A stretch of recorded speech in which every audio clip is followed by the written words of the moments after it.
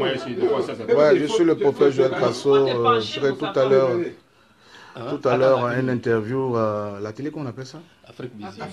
Ah Oui, Afrique Vision Nouvelle, voilà. Donc, je suis maintenant en direct là. Après l'ONU, j'accorde une interview à Afrique Vision. Voilà. Donc, euh, merci à mes amis de Facebook de suivre l'in- l'interview euh, en direct depuis ma page Facebook.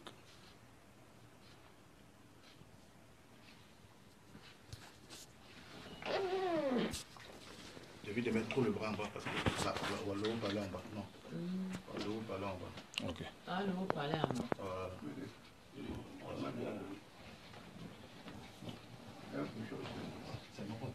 J'attends les questions.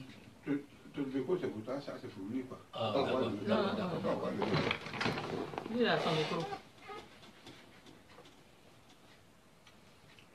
Pourquoi il y a espace en bas? Oui, laissez, laissez. Hum. Et on parle. On va commenter. Mhm. C'est vrai, n'importe quel petit, petit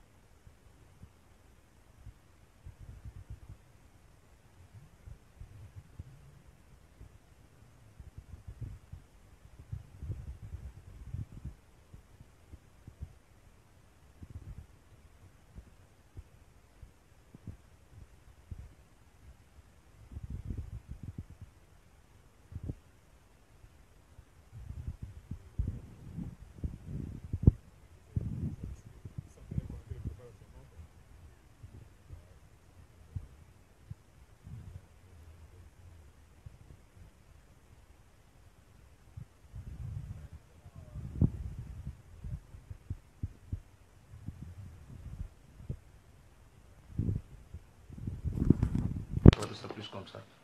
Ok. Voilà, comme en bas. Voilà, nous sommes tout en train de gérer un problème technique, ça va démarrer tout de suite. Euh, toutes mes excuses à mes amis Facebook. Voilà. Je vais accorder une interview à Afrique Vision Nouvelle. Afrique, Vision. Vision Nouvelle. Afrique Vision Nouvelle. Tu es prêt.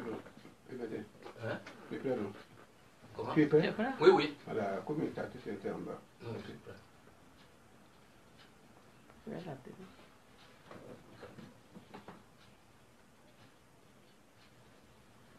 Bienvenue dans votre émission préférée Afrique Vision Nouvelle. Aujourd'hui, nous recevons sur notre plateau du studio 302 un invité de marque, un invité de classe exceptionnelle. L'homme qui fait freiner l'évolution de la science cachée, la science qui ne dit pas son nom, la science qui ne nous honore pas. Mesdames, Messieurs, c'est bel et bien le prophète Joël Grasso. Merci d'avoir accepté notre invitation, malgré que vous avez un calendrier très chargé. Une fois de plus, merci. Qui êtes-vous, Joël Grasso? Ouais, je, je suis le prophète Joël, en fait, Joël, Joël Crasso.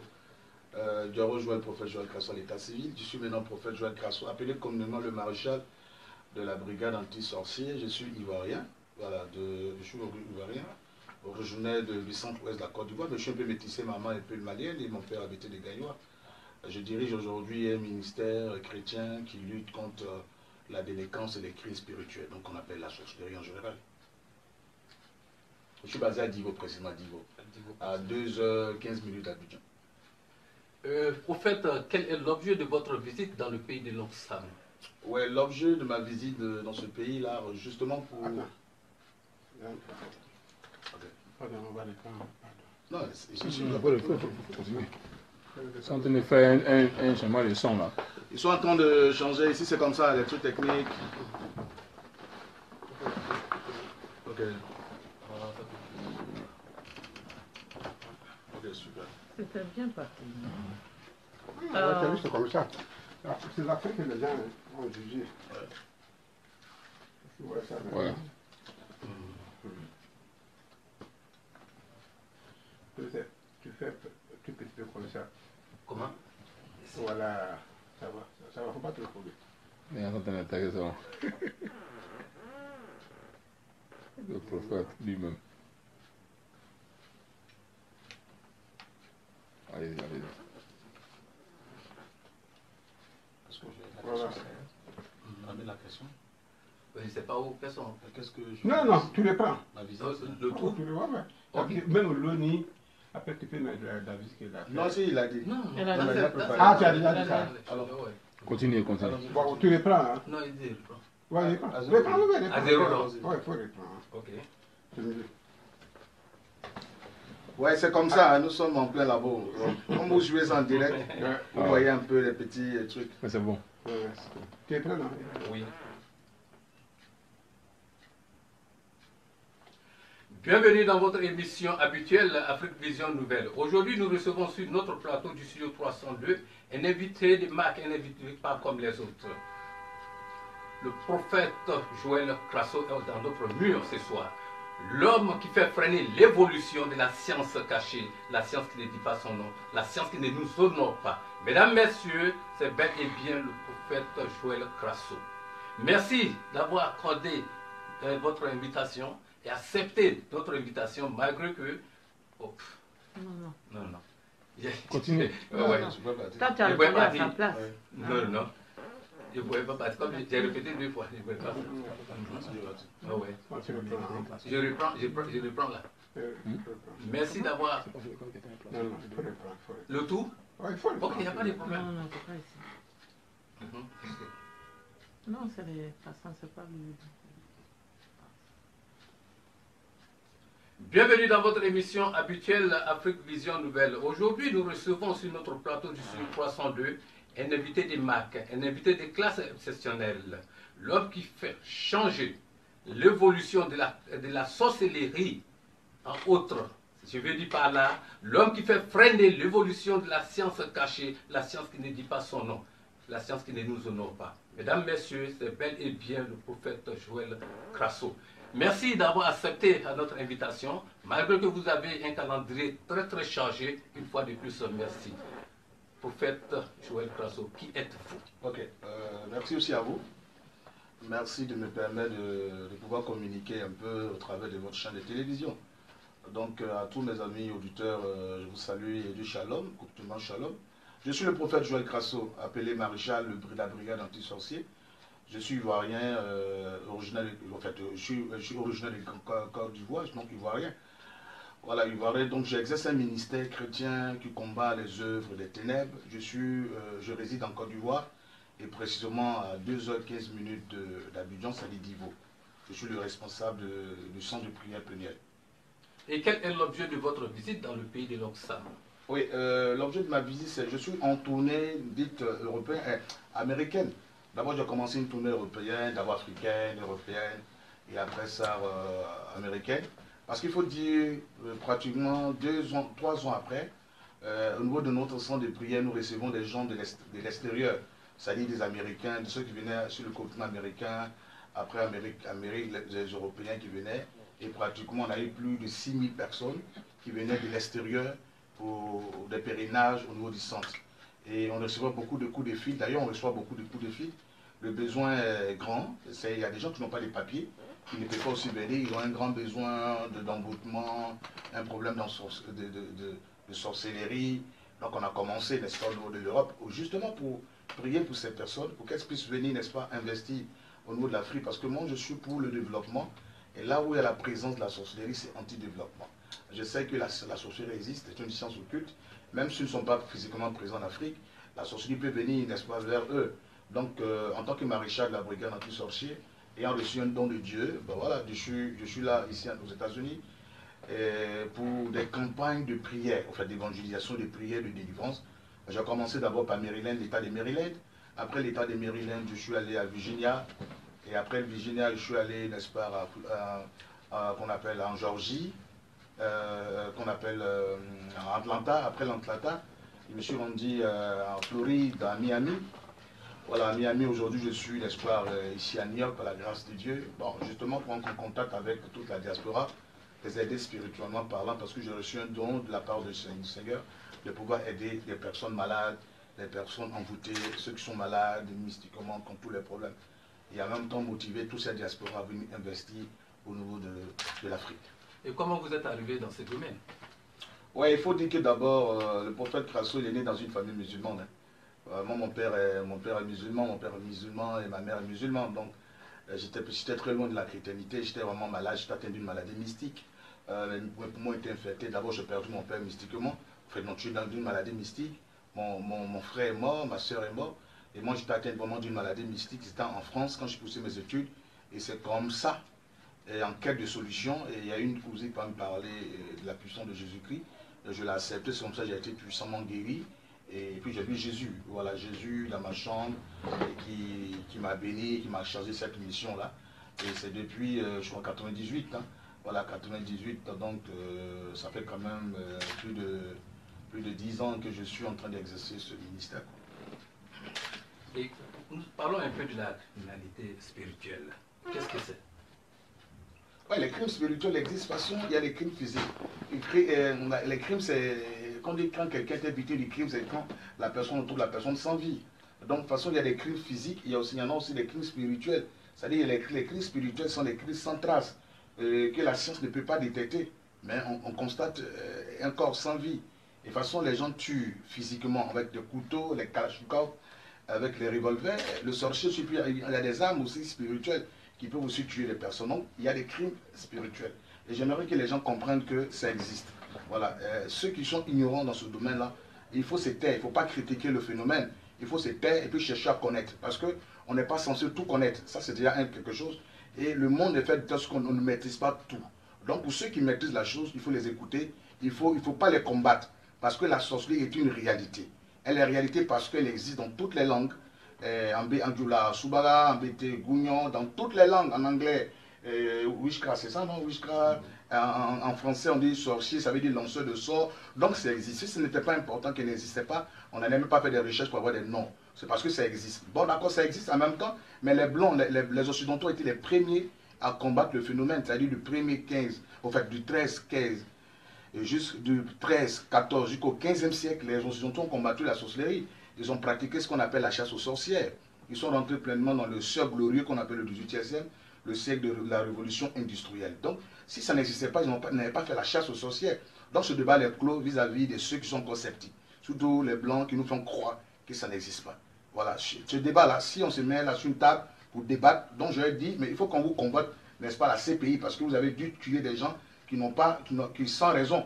Parce qu'aujourd'hui, les traces sont là, et vous avez, moi j'ai fait des enquêtes, je suis en train de parcourir, de faire des enquêtes en niveau de l'Europe, je suis allé voir où ils ont brûlé Jeanne d'Arc, j'ai parcouru en Italie, dans beaucoup d'autres endroits européens, où il y avait des grandes plateformes où les gens brûlaient les sorciers.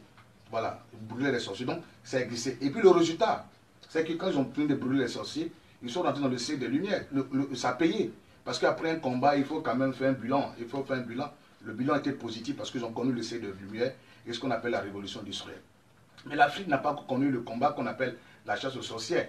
Aujourd'hui, l'Afrique vit un- un- de sorcellerie pas possible parce que la sorcellerie, la définition veut dire celui qui lance un mauvais sort. Vous pouvez être là, même vous pouvez être aux États-Unis, quelqu'un peut avoir un pouvoir mystique. Ça existe le pouvoir mystique.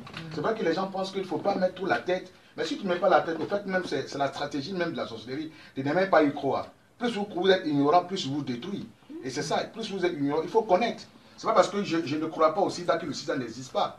C'est pas parce que je ne crois pas que euh, Abidjan existe que l'Abidjan n'existe pas. Ça existe. Voilà, ça existe. Maintenant, si ça existe, il faut savoir ce que la sorcellerie fait. La sorcellerie cause assez de dégâts. À dégâts énormes, tels que les crimes. Parce qu'un sorcier qui vient d'aujourd'hui d'être initié à la sorcellerie va tuer une personne par mois. Celui qui est au niveau 2, c'est-à-dire qu'il a évolué dans sa sorcellerie, et le niveau 2 par semaine va tuer. Et puis euh, au niveau, euh, celui qui gêne une confrérie va tuer par semaine. Vous allez me dire, mais comment, comment ça se fait? Mais oui, parce que tous les crimes que vous voyez là, la plupart ne sont pas forcément des crimes physiques. Il y a aussi une, une présence derrière. Les catastrophes euh, naturelles, vous voyez derrière, il y a une présence parce qu'il y a des choses, il y a des choses souvent qui échappent les gens. Ceux qui sont les, les pilotes d'avion, ceux qui roulent les bus, il y a des choses souvent qui les échappent. Comme un bus sur le, sur, sur, sur le pont Félix Lobagné qui a des garde-fous, va paf, plonger dans le fleuve, la, la- la- la lagune et briller comme ça. Donc, il y, a- toujours une main occulte dans tout ce qui arrive, dans les accidents et tout ça. Donc, pour dire, c'est une chose, qu'on doit vraiment prendre au sérieux. La sorcellerie existe. si elle existe, nous devons comprendre qu'elle fait assez de dégâts. Elle est la cause de beaucoup de choses. Le sorcier peut prendre même ton esprit, c'est-à-dire au fait ta carte mémoire, ce qu'on appelle la connaissance intellectuelle. Il peut même détruire ça. Il y a des gens qui ont un niveau intellectuel très élevé, mais qui ne peuvent pas travailler. Parce qu'à un moment, ils ont un surminé, la science donne une maladie, vous dites qu'ils sont surminés, tout ça. Ou bien arrivé un moment, tu as tous les diplômes, tu ne peux pas travailler. Parce qu'ils sont la cause de beaucoup de choses dans le monde. Et je pense qu'il faut vraiment combattre la sorcellerie parce qu'elle existe. Et comment vous avez acquis la prophétie? Oui, comme je disais, j'ai vu Jésus, j'ai vu Jésus-Christ dans ma chambre et qui m'a parlé en 98, qui m'a dit, eh, voici le don que, tu, que je te donne aujourd'hui parce qu'aucun sorcier ne pourra te détruire.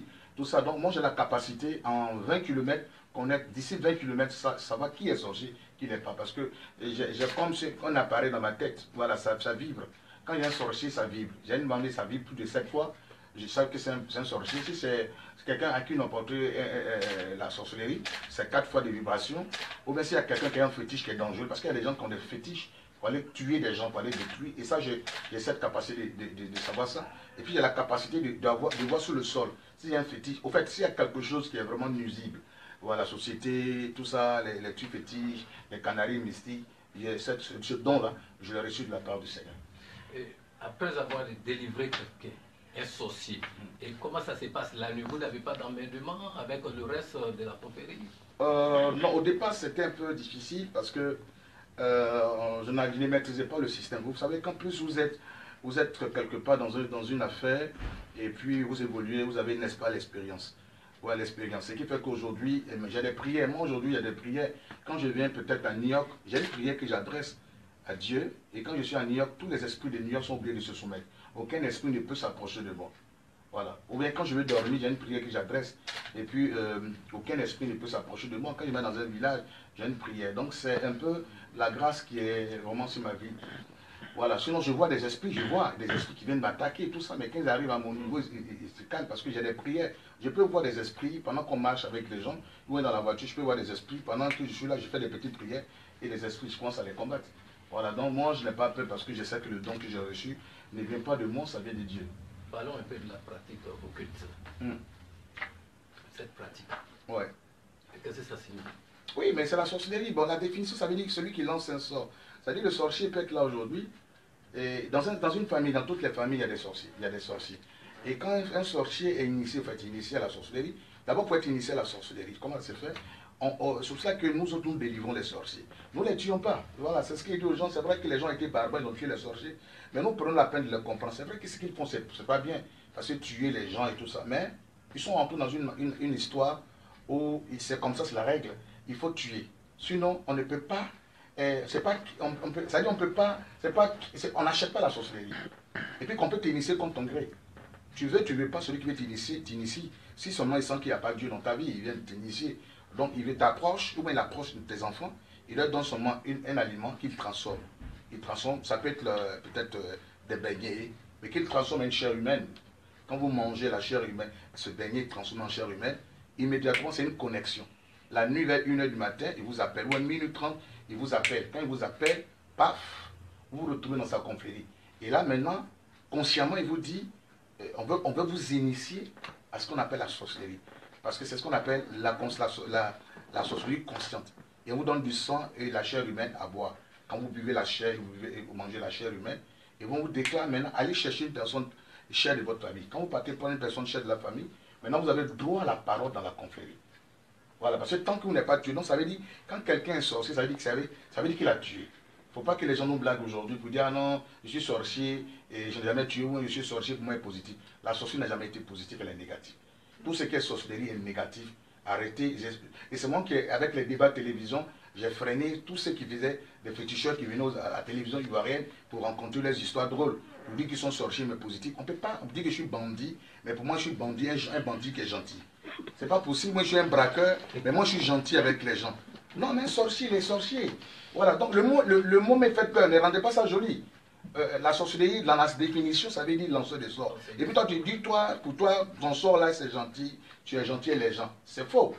donc, tu peux être fétiché, je peux comprendre. Tu peux être charlatan, je peux comprendre. Mais sorcellerie, c'est négatif. Donc, la sorcellerie est négative, donc c'est nuisible, n'est-ce pas, à la société. Et puis, il n'y a pas une famille, il n'y a pas la sorcellerie. Donc, quand on initie une personne à la sorcellerie, d'emblée, sa personne-là, cherchent à connaître ce qui doit prospérer dans leur famille. Voici le mal aujourd'hui. Il sait, parce que toutes les familles, on sait que telle personne, tel cousin, tel cousin, tel de prospérer, directement, ils ont carrément, ils ont cette, ce- cette grande connaissance-là. Ils ont cette connaissance, ils savent. Ils peuvent dire le nom de tout le monde et puis ils ont accès à vous. Mais c'est pour ça que moi aujourd'hui, quand je rencontre les gens, j'ai fait des bains d'huile, j'ai pris pour eux. Il y a des gens qui doivent prospérer. Eux, ils sont conscients qu'ils doivent prospérer. Ils sont conscients que leur avenir est propre. Ils sont conscients qu'ils ont des grandes connexions dans le monde. Mais ils ne peuvent pas décoller. Quand tu les vois, tu te dis, mais tu es étonné de voir que telle personne a côtoyé les grands hommes du monde et puis sont statiques. C'est-à-dire que la sorcellerie de la famille te bloque dans une prison. Il peut y avoir une prison spirituelle. Wow. Et hélas, le, problème qui est difficile, euh, qui, qui est euh, du et- et truc, c'est que euh, on peut même prendre ta chance et puis troquer. C'est-à-dire ta chance là, comme le monsieur a envie de manger la chair humaine, il peut prendre ta chance d'être grand, la grandeur et tout ça, et vendre ça à une autre personne, une autre famille. Voilà, donc voici un peu le danger de la famille. Donc, quand une personne est sortie dans une famille, elle prend la peine de voir qui doit se marier, on détruit. C'est-à-dire qu'ils sont, ils sont allergiques à tout ce qui est bénédiction au niveau de la famille. Et c'est ça aujourd'hui qui est le problème. C'est-à-dire qu'il faut, qu'aujourd'hui, il faut être très prudent. Je ne dis pas qu'il faut être méchant, il faut être beaucoup prudent et, euh, avec ceux que vous, ceux que vous. Avec, euh, euh, c'est vraiment important. Aujourd'hui, nous rentrons aux États-Unis, tellement que les gens ont vécu des choses de 11 septembre la dernière fois. Aujourd'hui, on, ne rentre pas qui veut aux États-Unis? Quand on est rentré à l'ONU, on a vu comment ONU nous, nous ont checké. Quand tu veux voyager, c'est comme ça. Avec la sorcellerie, il faut être aujourd'hui prudent parce que c'est vraiment grave. Aujourd'hui, malheureusement, même nos enfants sont initiés à la sorcellerie. Ils font assez de dégâts. Un sorcier peut tu fais un génocide. Moi, je connais une dame qui a tué 1732 personnes. Oui, et puis j'en connais toujours des personnes qui tuent 700 personnes, 800, 1000 personnes euh, ouais, pendant leur confrérie. Parce que pourquoi? Les gens me demandent pourquoi prophète? Qu'est-ce qui leur prouve que euh, ils ont la mémoire, ils savent le nombre de gens qu'ils ont tués? Pourquoi c'est comme ça? J'ai dit, mais oui, parce qu'ils ont une mémoire. Quand ils tuent Yahoo, ils savent que c'est Yahoo. Là, parce qu'en fonction de ceux qui tuent, le nombre de ceux qui tuent peut avoir une promotion, des grades dans leur, dans leur confrérie. Donc ils savent, ils sont conscients. Ils savent qu'il a tué Kofi, ils savent qu'il a tué deux, ils savent qu'il a tué trois. Là, ça, ça existe. La question est posée, ça existe ou pas? Oui, si ça existe. Mais quel est notre apport pour éradiquer la sorcellerie Bon, nous, nous autres, nous combattons la sorcellerie. Pourquoi nous en voulons aujourd'hui? Bon, moi, je comprends, celui qui m'en veut, je me combat en tant que prophète Crasso, il est un agent du diable. Or, nous, nous vivons, nous combattons eh, ce fléau pour que l'être humain puisse vivre librement sa vie. Parce que chacun d'entre nous a une destinée. Malheureusement, les gens ne nous laissent pas en paix. Sinon, on peut vivre notre vie tranquillement. C'est parce qu'il y a des gens qui nous euh, autour de nous. Sinon, on peut vivre pleinement notre vie. Dieu nous a donné nous tous notre chance. Mais pourquoi vouloir nous en, vouloir et nous tuer? Nous tuer et, nous vivons sans des grâces. Nous sommes, on peut être à New York, on peut être aux États-Unis, euh, en Europe, et puis on est là sans bénédiction. On est là, on vit, on vit sur le sol américain, c'est comme si on vivait en Afrique. Voilà. Donc, la sorcellerie, voici le dégât qui ça commun. Ça détruit le côté spirituel qu'on appelle la chance et la bénédiction des gens. C'est pour cela que nous autres, nous prenons le temps. Moi, ça fait prendre 10 ans que j'ai commencé à communiquer sur ça depuis 2006, avec 2016. Je commence à communiquer sur ça pour éclairer, les, ouvrir les yeux des gens. D'abord, c'était un fléau. Les gens n'en parlaient pas. Les gens avaient peur. Quand on parle de ça, les gens avaient peur. C'était vraiment un sujet tabou. Nous avons démystifié le sujet. Il faut que ça soit démystifié. Voilà, il faut que ça soit démystifié. Qu'on on veut ou pas, nous, subissons toujours. Que tu aies peur de ça ou pas, il peut t'attaquer. Donc pourquoi n'est pas parler de ça? Non, nous autres, nous parlons de ça, c'est vrai, avec les grands attaques, parce que nous, on nous attaque chaque fois. Moi, à l'église, les gens viennent chaque fois m'attaquer. Ils envoient des fétiches sur ma porte, devant ma maison, on m'attaque plusieurs fois. J'ai vu des gens qui m'ont attaqué plusieurs fois qui sont tombés. Et quand tu viens m'attaquer fortement, moi, je suis prêt quand je sors de ma maison.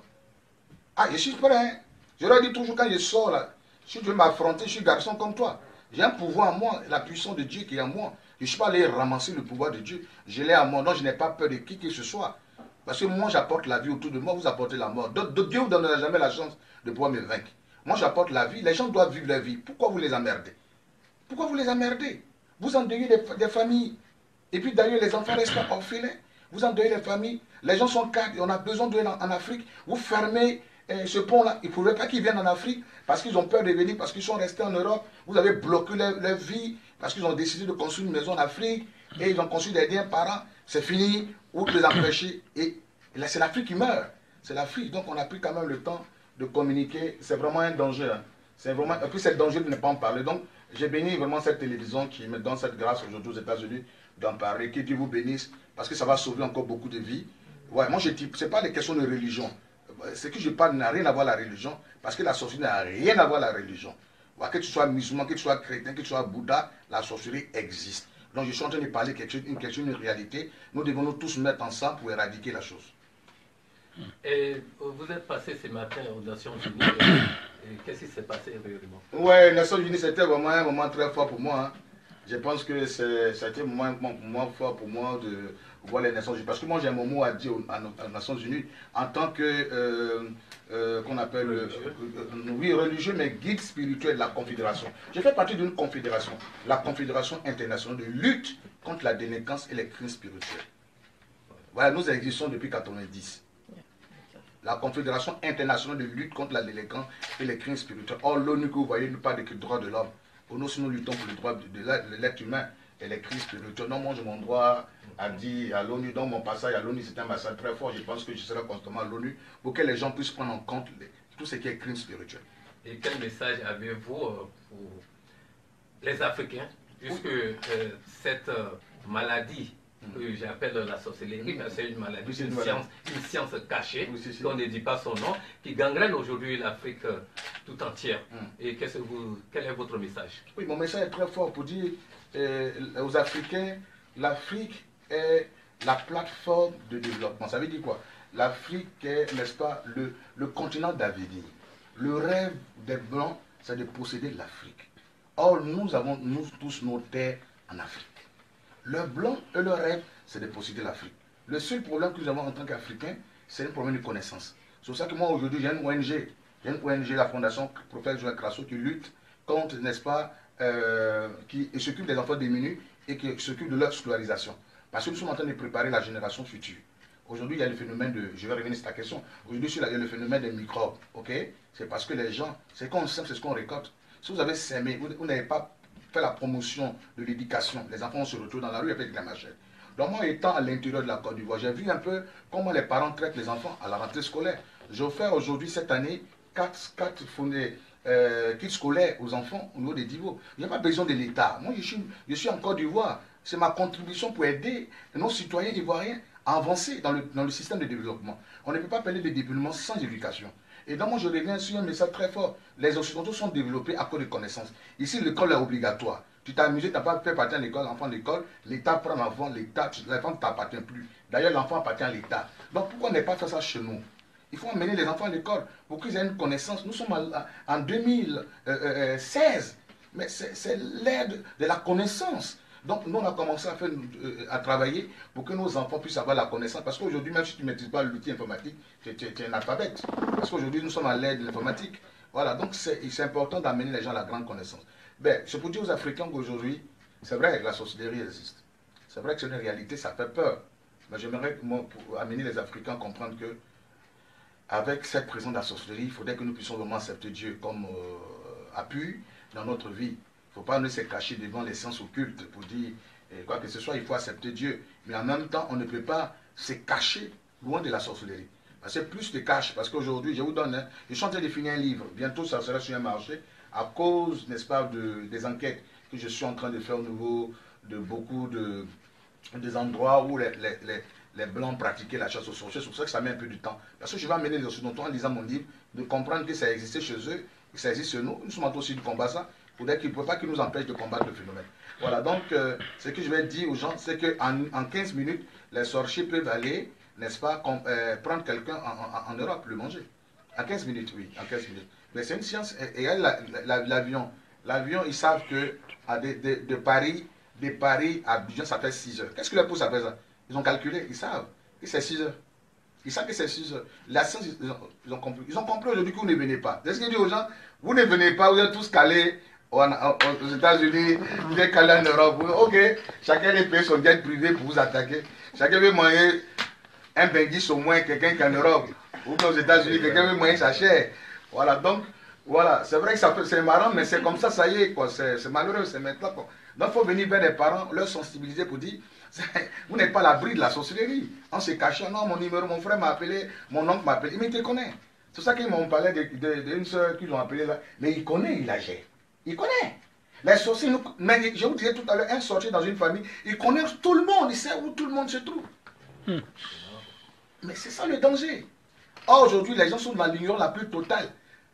Ce qui m'attriste. Mais je continue. à- Pourquoi nos, hommes religieux ne se mettent pas dans le même combat que moi Ce n'est pas une question de religion, mais c'est une question de- d'ouvrir les yeux. J'ai toujours dit il y a les œuvres de Dieu et il y a les œuvres du diable. Il y a ce que Dieu fait et puis ce que le diable fait. Mais inverser le- les yeux du diable. C'est pas Dieu qui est à la base. Les gens pensent que c'est Dieu qui est à la base et beaucoup de mortalité au monde. Non. Il n'est pas sur la base des méchancetés, tout ça. Le diable existe, il a, il a su ses œuvres. Donc nous prenons le temps de parler. C'est vrai qu'on nous dénigre, on nous insulte, mais le combat, il est noble, parce que pour nous, c'est de permettre aux gens d'avancer. Moi, je suis content quand quelqu'un, eh, n'est-ce pas, comprend le message. Parce que j'aimerais que les gens échappent à cette méchanceté. J'aimerais, parce que moi, j'ai été victime. Je ne permettrai jamais au grand que les gens soient victimes de ça. J'ai perdu mon père. Perdu- Parce que moi, je n'y croyais pas. Mon père est mort sous mes yeux, mon, mon frère est mort, euh, ma, soeur est morte. Et moi, j'étais victime, la prochaine victime. J'ai été délivré par la puissance de Dieu. Et je suis en train de communiquer là-dessus pour ne pas que les gens soient victimes de ça. Ça existe. C'est pour cela que même les aigris, les méchants qui m'attaquent, mais c'est votre rôle, vous jouez votre rôle parce que vous défendez votre papa Satan. Mais les hommes ne doivent pas être mangés. Franchement, vous ne pouvez pas me distraire, jamais vous pouvez me décourager dans ce combat que je suis en train de mener. Parce que l'être humain, il est cher, il est précieux, il faudrait qu'on le protège. Prophète, parlez-nous un peu de votre club euh. Ouais, tout va bien. Le fan club à bâtiment, c'est les gens qui m'ont fait venir d'ailleurs, qui m'ont fait venir ici, euh, euh, les États-Unis d'abord. euh, euh, la sœur, Madame Naïm, est venue d'abord, elle, m'a connu sur, sur les réseaux sociaux, elle m'a connu sur, Inter- sur YouTube, et après elle a dit, mais le monsieur fait un bon travail, il mérite sur mon père spirituel. Et donc cette dame-là payait mes factures, c'est-à-dire payait les factures du centre, chaque fois elle envoie l'argent qu'on paye les factures. Parce que, ouais, aussi, parce que les enfants, nous on a, on a, on a beaucoup de charges, j'ai plus de 2 600 000 francs de charges par mois. Ah oui, c'est ce que vous savez pas, les maisons, la nourriture qu'on donne aux gens, plus de 200 000, 2 600 000 francs, parce qu'on fait plus de social. Il y a des gens qui viennent se délivrer les enfants, ils laissent les enfants là-bas. Nous ne pouvons pas les rejeter. Et puis il y a des gens, euh, quand ils font les délivrer les enfants, les gens, ils ne veulent plus prendre les, les gens qu'ils ont délivrés. C'est des êtres humains. Donc ils sont à nos charges aujourd'hui. Donc il y a beaucoup de choses qu'on nous gérons. Et c'est cette dame-là qui, qui a, vu les charges. Et puis elle est venue, elle est venue à Abidjan. Elle est venue à Divo. Et puis elle a dit, bon, il faut que je t'aide. Il faut venir sur euh, les États-Unis. Au départ, puisque j'étais j'ai beaucoup pris, j'ai dit toujours aux gens, on a beaucoup à faire au niveau de la Côte d'Ivoire, donc on n'a pas vraiment le temps de sortir. Mais qu'on comprenne qu'ici, on a aussi besoin de nous, parce que ça permet aux gens de comprendre et de venir. Puis on, dit, on va vers eux, ça leur motive aussi de venir. Et donc c'est comme ça, j'ai donné mon OK. Et puis c'est elle-même, elle voyait que je traînais tout, parce que la première invitation, je n'ai pas pu répondre. Euh, à l'interview, elle, euh, je suis pas allé à l'ambassade. Et elle est venue elle-même, elle allait prendre elle-même euh, un rendez-vous à l'ambassade euh, des États-Unis, puisqu'elle est elle-même américaine. Et puis euh, j'étais parti en Espagne pour un programme. Et quand je suis venu, elle m'a appelé. Et je suis allé à l'ambassade. J'ai eu, ils m'ont posé deux, juste, deux, deux questions. Ils me donnent mon visa de un an. Et quand je suis rentré, elle a payé mon billet d'avion. Elle a dit, je veux, moi tout ce que je veux, euh, c'est c'est pour que tu aides des gens. Voilà, c'est pour que tu aides des gens, parce que je sais comment les gens souffrent ici. On a trop d'opportunités, c'est vrai. Moi, je découvre aujourd'hui c'est le plus puissant pays au monde. Il y a trop d'opportunités ici en Amérique. Si quelqu'un dit qu'il souffre, c'est qu'il y a un problème mystique. Si un pro- souffre, il y a un problème mystique. Si un problème, c'est un- quelqu'un dit qu'il y a un problème de papier, c'est qu'il y a un problème mystique. Et tout le monde a les mêmes papiers, parce que le problème, parce qu'ils viennent ici, ils veulent changer d'identité, ils se retrouvent demain dans le trou. Mais il y a quand même une, mystique. Donc ça m'a permis, cela m'a permis de séjourner ici. Ils ont pris tous mes frais en compte et j'ai passé un grand séjour, un séjour agréable. Et surtout aujourd'hui, c'est le bonus, mon entrée à l'ONU. Ça a été le bonus, quoi. ça a été le bonus, hein? Ouais, l'ONU, hein, l'ONU était le bonus. Abidjan, on va parler un peu de l'ONU. Donc, je suis très content par rapport à vous parce que là, vous m'avez aussi adressé une invitation, venir ici New York. Vous m'avez fait rentrer à l'ONU, je suis vraiment très content. Voilà. Et je peux avoir vraiment la tête grandie, quoi, dans la tête. Parce que j'ai vu un peu les commentaires. Les gens disent comment. Pour faire rentrer à l'ONU, comment bana. On parle plus. Il va nous défendre, nous défendre là-bas. Mais tu vois, les gens mangent, les gens cadeaux, tout ça. Tu vois, les gens mangent, les gens ils sont méchants. Donc, pour dire, nous autres, nous luttons. Et puis moi, je suis, je, suis, ce que j'ai dit. Parce que les gens font des sales commentaires, souvent, si, des trucs, parce que je demande aux opérateurs de rentrer. Je ne suis pas politicien. Moi, je crois au gouvernement en place. Franchement, je ne suis pas dans vos systèmes. Je vous fais pas là, ça c'est vous, ça n'engage que vous. Moi, je suis pas, moi, quelqu'un qui est au pouvoir, je le respecte.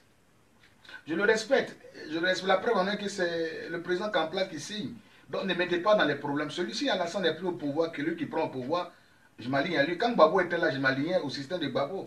Si Alassane est là, je suis là. Non, je, ne suis pas dans vos histoires. Ne me menez pas dans vos histoires. Moi, je demande aux opérateurs économiques de venir en Côte d'Ivoire. Parce que je suis en paix en Côte d'Ivoire. Voilà, je suis en paix en Côte d'Ivoire. Si d'autres ne sont pas en paix, ils savent pourquoi ils ne sont pas en paix en Côte d'Ivoire. Donc ne me mettez pas dans vos palabres.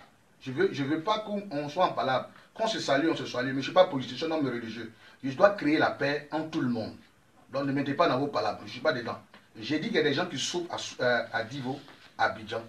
Il y a des personnes qui, qui, qui peuvent créer des entreprises pour amener les gens à avoir du boulot en Côte d'Ivoire. Et c'est ce que je suis en train de faire. Encouragez-moi que de m'insulter. Je ne suis pas politicien.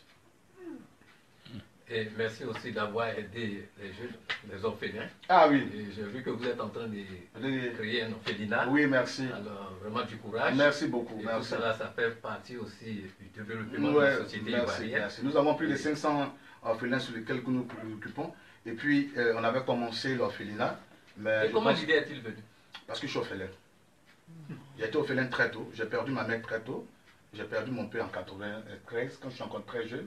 Et je sais euh, ce que je suis bien orphelin. Dans mon rêve, c'était un jour créer un orphelinat. Et des années, 20 ans plus tard, le Seigneur me permet de mettre quelque chose sur place. Parce que j'ai vu comment les gens traitent les orphelins. J'ai vu. Donc, pour moi, il faut, il faut les prendre en charge parce que les orphelins, vous voyez, c'est des personnes euh, qui ont besoin de s'accrocher quelque part où il y a beaucoup d'affection. Voilà, donc euh, moi j'étais orphelin, donc le Seigneur m'a prié, m'a prié, prié toujours pour que j'aie un orphelinat. Et Dieu faisant, on a eu le bâtiment, on a commencé à travailler. Quand je suis venu aux États-Unis, je vous dis que c'est déjà fini avec l'aide que j'ai reçue des gens des États-Unis parce qu'ils m'ont donné une forte somme quand même. Quand je pars dans les régions, dans les différents États, il y a de l'argent qu'on m'a fait, on me fait des offrandes. On est arrivé au stade aujourd'hui, c'est déjà un prix. Il reste seulement que 5 millions pour finir. Mais je pense que d'ici là, on aura les 5 millions pour finir. Donc le 24, on va inaugurer. Voilà, donc on a déjà tout fait, on a déjà mis les carreaux, on a déjà mis la peinture, on a commencé à faire des meubles, on a déjà tout fait. Et puis j'ai eu une ONG à Dallas, ici, à Texas, qui m'a donné 4000 chaussures. Il y a une communauté euh, camerounaise vivant ici, euh, qu'on appelle euh, Atlanta, qui m'a envoyé des, des, des, des, des bouffes, des, des habits, des bébés, une valise, grosse valise, tout ça, pour aider les enfants. Donc moi je quitte les États-Unis ici avec euh, une grande bénédiction. Voilà, une grande bénédiction. Parce que ici, j'ai vu que les gens ont le sens de Dieu. Qu'en même temps, je me comprends quand, ah my God, dit, dans leur sens, ils ont le sens de, de Dieu et puis le sens du partage. Voilà, donc l'orphelinat, c'était vraiment bien parce qu'on ne peut pas penser aimer Dieu qu'on ne voit pas et puis haïr celui qu'on ne voit que notre prochain. Parce que eh, c'est ça qu'on dit, on aime Dieu, il faut aimer son prochain. Voilà, donc pour moi, c'était vraiment important. C'était vraiment important de réaliser ce rêve-là qu'on appelle l'orphelinat. C'était le prophète Joël Crasso, le maréchal de la brigade antisociée en direct sur Afrique Vision depuis New York.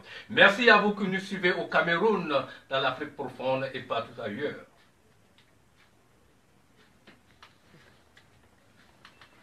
Je peux laisser le contact. Je peux laisser le contact. Ah oui, oui, il a fait ça. Le- Son mot de Laissez- fin. non, non, non, c'est- Ouais, ouais. Son mot de fin au niveau Ouais, du laisse visa, tomber. voilà. Alors, prophète, euh, comment nous qui sommes à la diaspora, on peut vous joindre? Ah, oh, attends. Ouais, ouais, mais même si tu n'as pas bien fait information. Ok. Euh, mon mot de fin. attends, si j'ai fait ta information. Ok, euh, merci. Mon mot de fin, je remercie Afrique, c'est ça? Afrique Vision Nouvelle. Afrique Vision Nouvelle. Franchement, je suis vraiment très heureux de participer à votre, euh, euh, d'accepter l'invitation de votre interview. Et puis, euh, de comprendre que vous êtes un peu dans mon combat. Vous êtes non, pas un peu, vous êtes dans mon combat. Parce que je pense que c'est la vision de l'Afrique euh, nouvelle, l'Afrique qui se développe en matière de mentalité, parce que c'est une question de mentalité. Il faut changer de mentalité, il ne faut plus être dans ces sectes-là. Nos parents ont fait ces conneries, c'est des amis en retard. Donc, je tenais à dire merci à votre chaîne de télé. Et en même temps, pour dire, nous avons aujourd'hui euh, une grande plateforme où on peut se faire délivrer de la sorcellerie. Et en même temps, avoir plus de connaissances, comment combattre les sorciers et tout ça. Nous, on a, des choses, pour nous, sont plus pratiques. Si vous avez quelqu'un dans votre village, dans vos régions, qui vous lance un défi, on ne peut pas le maîtriser, invitez le prophète Crasso. En cinq minutes, je vais lui montrer le chemin de Dieu.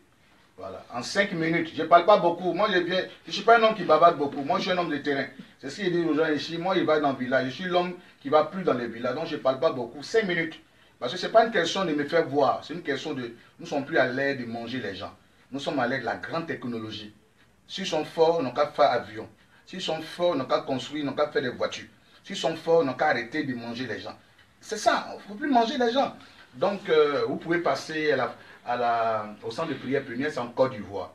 Les numéros sont les suivants, c'est plus 225 47 07 23 25. Je reprends, plus 225 47 07 23 25 ou plus 225 32 78 euh, 32 64, euh, 38 90. Je reprends, plus 225 76 euh, 32 76 65 32 98 90. Voilà, ce sont les numéros euh, du secrétariat. Plus 225 45 07 23 28. Vous appelez pour qu'on puisse vous apporter une assistance. Notre secrétariat, c'est 24 heures sur 24 et vous pouvez vous rendre à Sadivo à 2h45 minutes d'Abidjan. Vous appelez, on peut vous recevoir. Nous avons des chambres, hein. nous avons des résidences. Pour ceux qui veulent venir pour des moments de pèlerinage, tu peux être au Cameroun, tu peux être au Congo, tu as un problème de sorcellerie, on t'a envoûté, on ne sait pas où se trouve la maladie. On a vu des gens qui étaient malades. Je suis arrivé à Bâtiment, qui ont été miraculeusement guéris. J'ai parlé, les choses sortaient de leurs pieds, c'est sorti, ils sont répartis. Tranquillement, c'est le don que j'ai reçu. Justement d'avoir de l'huile d'onction, je parle de ça, je dis si toi tu es guéri. C'est simple. En cinq minutes, je ne suis pas un homme qui bavarde beaucoup. Je peux, par la grâce de Dieu, par la prière,